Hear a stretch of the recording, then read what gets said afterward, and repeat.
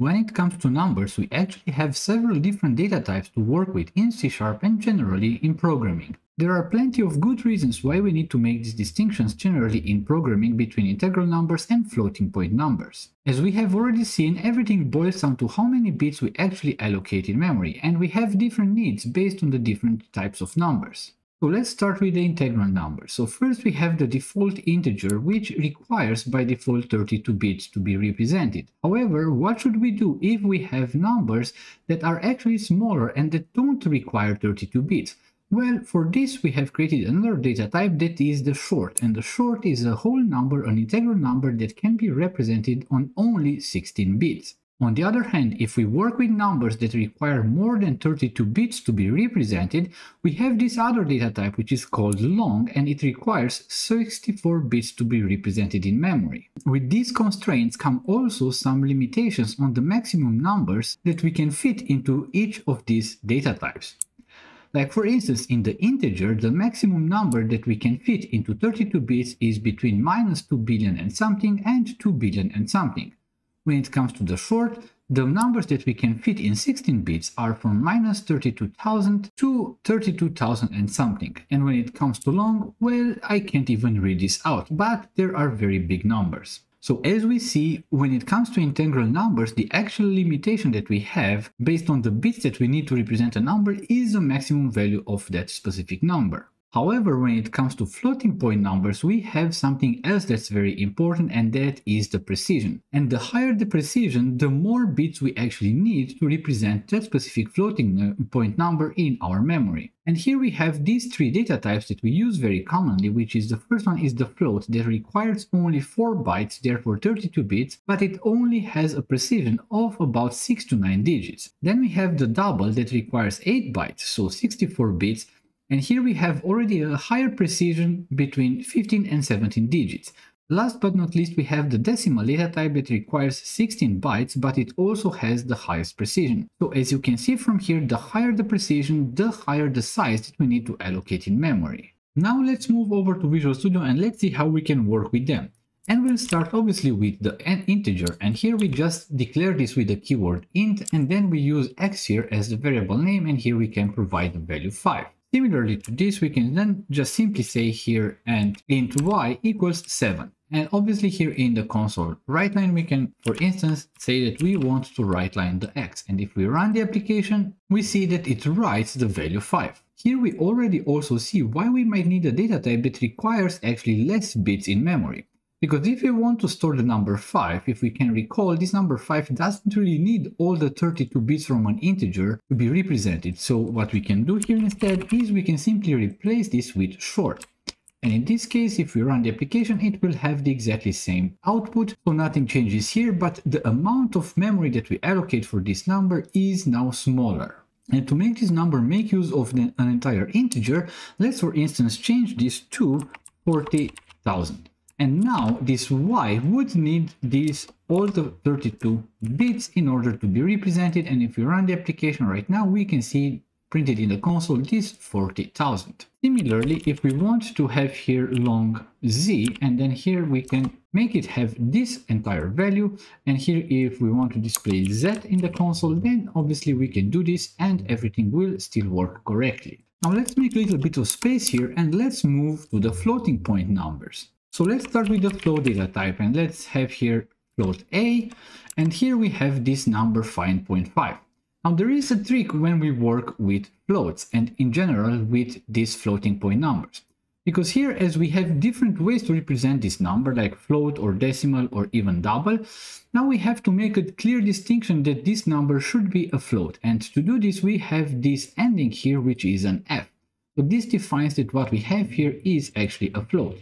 And here, if we display in the console this number a, everything should work as expected, so we will have 5.5 displayed here. In a way, in C Sharp, double is the, I would say, default floating point number type. And the reason why I say that it is the default one is because when we declare a double and initialize a value to it, we don't really have to provide any letter after the number so that we indicate that it is actually a double. So let's change here the A to B and let's run the application again and we'll see that the output will change. In this case, it will be 5.5 The only difference is that the double will require a higher amount of memory in our application. Last but not least, let's look also into the decimal and we have here this decimal C and here we provide this 5.5.5 but here we need to provide this ending which is the letter M. And that would make our number being a decimal. And let's change this in the console and let's run the application and we'll see exactly the same output but this time we have a higher memory consumption. However the precision is actually very important because oftentimes when we work with things that should be very precise, like for instance currencies. Even if the decimal takes actually more memory, we should definitely use this decimal because it has a higher precision. And when we work with currencies and other very such important things, we don't want to lose this precision. Now I would like to move to another very important aspect of working with numbers in C Sharp and this is what we call type conversions or numeric type conversions. So here we have this short x and this is equals to 5 and then we have an int y and this equals to 40,000. Now let's for instance say right now that we want this y to be equal to x and we want to display this in the console. So let's run the application and we see that everything works correctly. However, now we have to wonder a little bit because we know that this x is a short and we know that y is an integer and we have seen in the previous video and we have said at that point that we cannot assign one data type to another data type. And when it comes to numeric data types there is this concept of numeric type conversion. So C Sharp automatically converts a number between different types if this is possible. Remember here is where the bits that this number takes in is very important because short can be represented with only 16 bits. Now integer is represented with 32 bits. Now the thing is that since 16 is actually less than 32, it means that a number that can be represented on 16 bits can obviously also be represented on 32 bits. So this is why this type conversion works okay. But let's take a look at what happens if we try to do the other way around. So we say that x equals y. So in this case, you see that we have a very small squiggly line here. And here it says that cannot implicitly convert type int to short, an explicit conversion exists. Now, the thing is that the very first part of this message is important. Because in this case, what we try to do is we want to represent a number that takes in 32 bits, like an integer, in a number that can only be represented on 16 bits. And obviously this is not possible and that's why we get this error and right now our application doesn't even compile. So the numeric type conversion only works when we try to convert or when we want to automatically convert from data types that require less memory to data types that require more memory. So before we move to the floats, to show that this exact principle also works for floating point numbers, let's go back and make y equal x.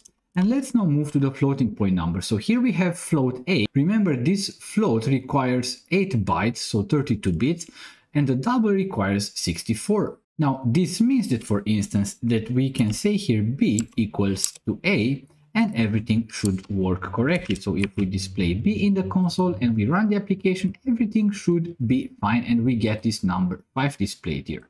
But once again, if we want to do the other way around, now the problem is that we try to represent here a number or we try to assign a number that takes 64 bits to be represented with the required precision into a number that only requires 32 and obviously we get the red squiggly line and we get the message that cannot implicitly convert from type double to float. So the other way around it really doesn't work. So let's change it back to a working environment. So b equals a before we move forward to other data types, I would like to also show you or discuss one very important thing when it comes to working with the console. On one hand, you can see here that we have this console write line and we can provide the number b and it gets printed in the console. However, we have explained in the previous video that when we do a console write line or even a console read line, so when we want to read input, we are actually working with strings. Now, the trick is that when we console write line a number, there is an overload, so C Sharp, the compiler, does know exactly how to transform this number into a string so that it can be represented in a console. However, when we read input from the console, then everything is very dynamic and C Sharp and the compiler can't know beforehand exactly how this conversion would work. So there is a trick when we would like to get some numeric input from a console application. So let's try to do this. We say that we have this int and we call this user number. And here we say, for instance, that this number should be equal to console.readline. And here, basically, you already see that we have this red squiggly line. And this line says, if we say here, or if we take a look here in the exception message, we see that cannot implicitly convert type string to integer. Now, as I said, when we read from the console, it is a string, and we need a way to kind of like convert it to an integer. And here we can, for instance, use this int keyword, and on the, this int keyword, we have this parse method, similarly to the format method that we have on the string and that we have taken a look previously.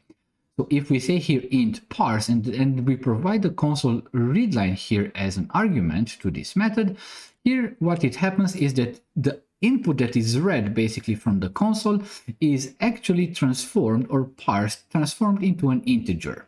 And right now what we can do here, we can console write line and the user number and everything should work correctly. Now, if you remember, the first thing that we need to do here is we need to provide a number Let's provide number 12. And we see that number 12 was printed in the console and then the other numbers from the other console readlines. So everything worked correctly. However, let me show you another thing. If for instance I provide here a letter instead of number, like for instance A, here we give we get this exception, system format exception. The input string A was not in a correct format. And we usually get this exception whenever we try to get some input that is a string and we cannot or C Sharp cannot convert it into an integer. Now on exception we will have a dedicated lesson and we'll talk about more exceptions and how do we handle exceptions in our application. But for now it's important to note that when we want to read numbers from the console, what we need to do is we need to parse them and transform them from a string into a number. So we can use int dot parse if we want to have this as an integer, but for instance, if we want to have this as a double, we have the same parse on the double. So we can say double dot parse. And it's exactly the same on all the different numeric data types, also on the floating point numbers like float, double, and decimal. So if we run the application right now, it will work exactly the same. Now, for instance, let's have 12. Here, once again, we got 12 printed in the console, but this time 12 was a double. And to prove that it was actually a double, let's, for instance, have this number and we see that it is printed in the console so we don't get any error we don't get an exception but instead the program works just fine for now that's everything that's important for us to understand and to know on how we work with numbers in c sharp so let's move over to the next lesson where we'll talk about another very important data type which is arrays.